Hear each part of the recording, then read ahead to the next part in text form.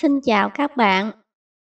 Hôm nay chúng ta sẽ tiếp tục học môn tiếng Việt lớp 1 trong bộ sách Cánh diều này nhé. Trước khi bắt đầu bài mới, chúng ta sẽ ôn lại bài cũ trước đó nhé. Đây là âm A. Đây là âm cờ. Âm A. Âm cờ. Đây là chữ K. Chữ K đánh vần là cờ A, K. Cờ A, K.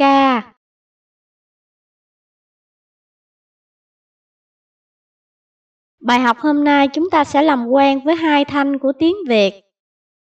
Đó là thanh huyền và thanh sắc.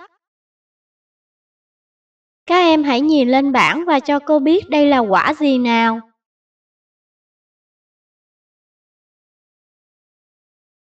Đúng rồi, đây là quả cà. Và đây là chữ cà. Chúng ta cùng nhau đọc lại chữ cà nhé. Cà. Cà. Cà.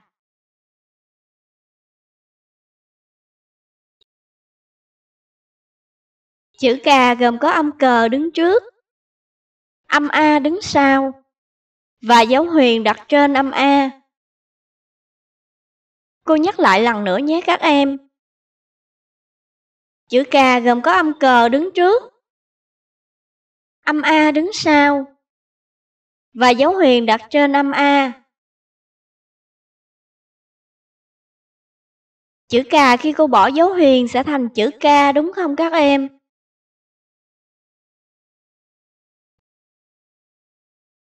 Chữ K khi cô thêm dấu huyền cho 5A thì sẽ thành chữ cà nhé. Vậy các em đã biết cách nhận biết dấu huyền chưa nào? Đây là dấu huyền nhé các em.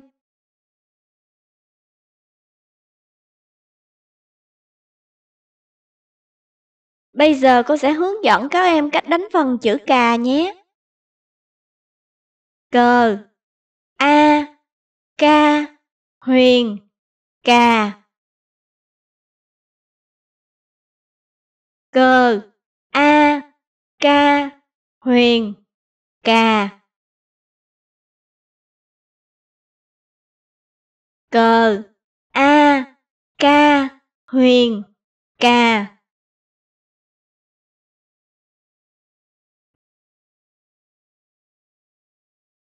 Tiếp theo các em hãy nhìn lên bảng và cho cô biết đây là con gì nào.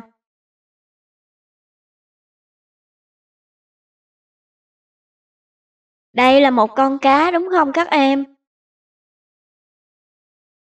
Và đây là chữ cá.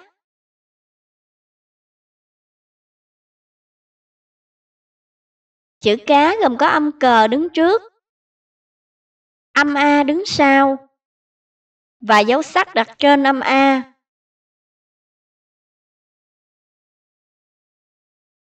Cô nhắc lại lần nữa nhé các em. Chữ cá gồm có âm cờ đứng trước, âm A đứng sau và dấu sắc đặt trên âm A.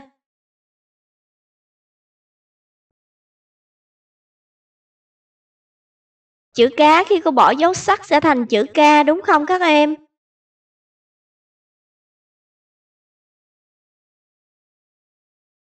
Chữ K khi cô thêm dấu sắc trên âm A thì sẽ thành chữ cá nhé.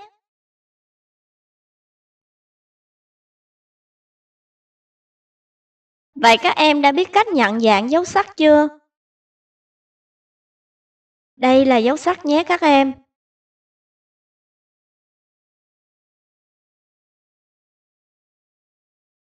Bây giờ cô sẽ hướng dẫn các em cách đánh vần chữ cá nhé. Cờ A ca sắc cá cờ a ca sắc cá cờ, a, ca, sắt, cá.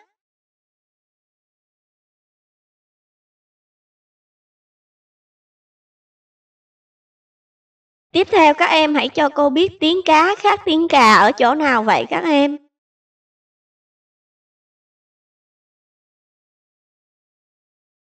Đúng rồi, tiếng cá có thanh sắc, tiếng cà có thanh huyền nhé.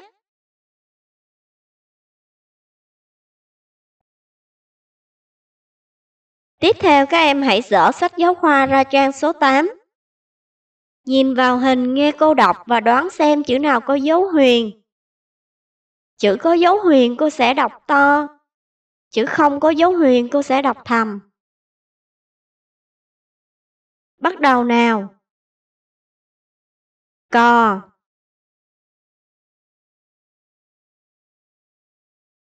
Bò Nhà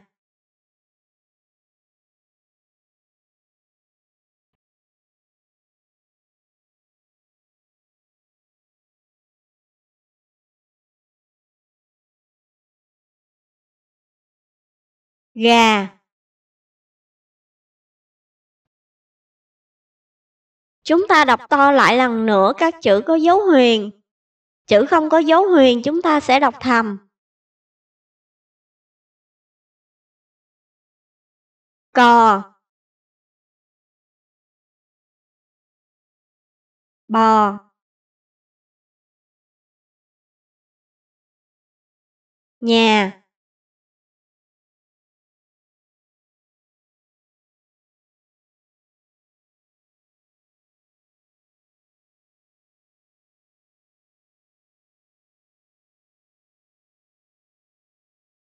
gà.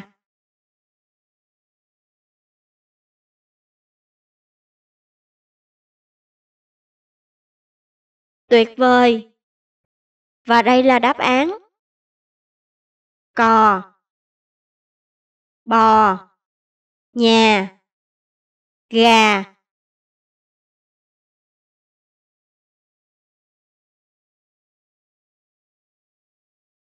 Tiếp theo các em hãy dở sách giáo khoa trang số 9.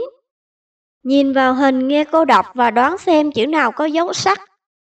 Chữ có dấu sắc cô sẽ đọc to, chữ không có dấu sắc cô sẽ đọc thầm. Bắt đầu nào. Bé Lá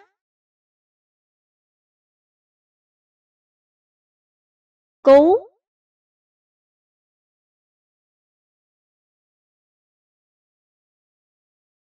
Bóng. Chó. Bây giờ chúng ta hãy đọc to lại lần nữa các chữ có dấu sắc. Chữ không có dấu sắc, chúng ta sẽ đọc thầm. Bé. Lá. Cú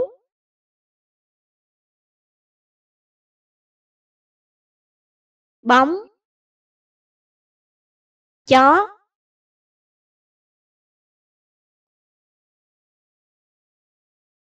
Tuyệt vời! Và đây là đáp án. Bé. Lá. Cú. Bóng. Chó.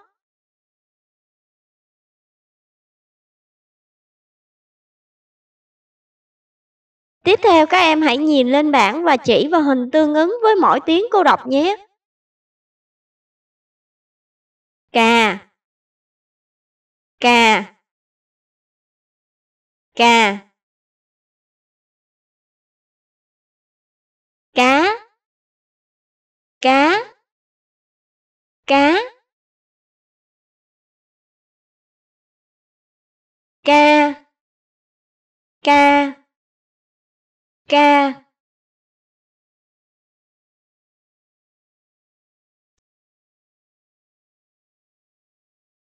Và đây là kết quả.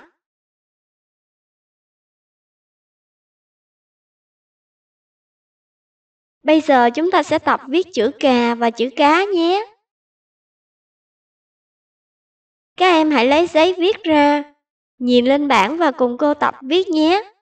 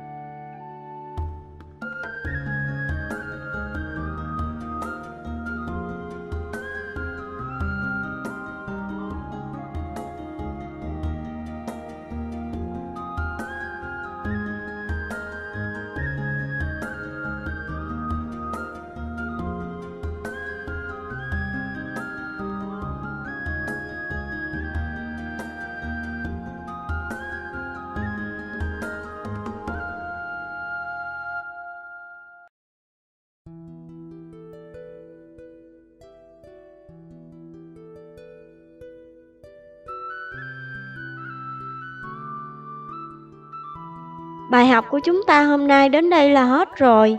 Để luyện cho các em viết chữ đẹp, quý phụ huynh hãy tải file tập viết chữ cà và chữ cá phía dưới phần mô tả về để các em tập viết nhé. Nếu thấy video này bổ ích hãy ấn đăng ký kênh, like và chia sẻ để mọi người cùng học tập nhé. Xin chào và hẹn gặp lại.